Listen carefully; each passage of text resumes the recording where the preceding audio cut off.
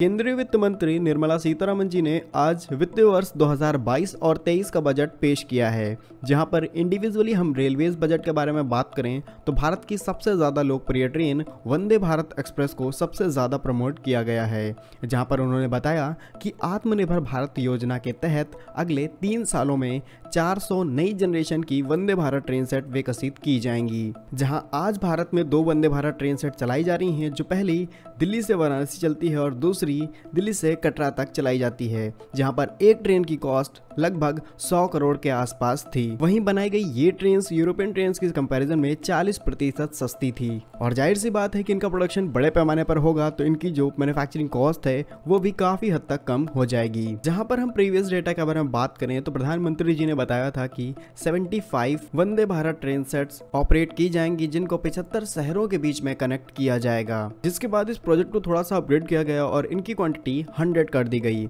जिसमें लगभग 9 कंपनियों ने पार्टिसिपेट किया था। लेकिन फाइनली इस बजट में 400 नई Vande Bharat train set introduce कराई गई हैं। बनने वाली नई Vande Bharat train set ICF MCF और आरसीएफ में अलग अलग जगह पर तैयार की जाएँगी। इसी के साथ में बजट पेश होने से पहले ट्रेन 18 को बनाने वाले सुधांशु मणि जी का एक ओपिनियन आया था कि रेलवेज पर ज़्यादा फोकस नहीं किया जा रहा है उनकी स्पीड को लेकर के, उनकी ट्रैक फैसिलिटी को लेकर के। सो so फाइनली इस बजट में काफ़ी बड़ी अनाउंसमेंट की गई है। इसी के साथ में सुधांशु मणि जी की ही देखरेख में ट्रेन 18 को तैयार किया गया था, जिसको सिर्फ़ 18 महीनों के अंदर बना करके तैयार किया गया था। तो सुधांशु मणि जी और उनकी पूरी टीम का इसमें बहुत बड़ा योगदान है की भारत को ऐसी कॉस्ट इफ़ेक्टिव ट्रेन मिल पाई। वही बजट में ये भी कहा गया की नेक्स्ट थ्री ईयर में सौ पीएम गति शक्ति कार्गो टर्मिनल भी विकसित किए जाएँगे, जो लॉजिस्टिक की व्यवस्था को काफ़ी हद तक बेहतर कर पाएगी।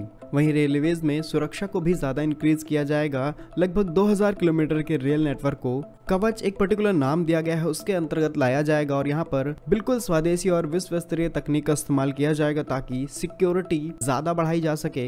यहाँ पर बहुत अच्छा कम्युनिकेशन सिस्टम इस्तेमाल किया जाएगा। इसके साथ में ऑन टाइम एक्शन जैसी बहुत सारी सुविधाएँ उपलब्ध कराई जाएँगी। वहीं उन्होंने कहा कि कुछ शहरों में अभी तक मेट्रो नहीं पहुँची है, जहाँ पर लोगों को ज़्यादा ज़रूरत है तो वहाँ पर भी मेट्रो सुविधा लाई जाएगी। फ़िलहाल आने वाली 400 नई वंदे भारत ट्रेन सेट के बारे में आप लोगों का क्या कहना है? कमेंट बॉक्स में अपनी राय ज़रूर लिखिएगा भारत कैसे ही यूजफुल एंड इन्फॉर्मेटिव वीडियोस पाने के लिए आप हमारे यूट्यूब चैनल को सब्सक्राइब ज़रूर कर लीजिए। मिलेंगे हम आपको एक नई और इंटरेस्टिंग वीडियो में। तब तक के लिए वंदे मातरम, भारत माता की जय।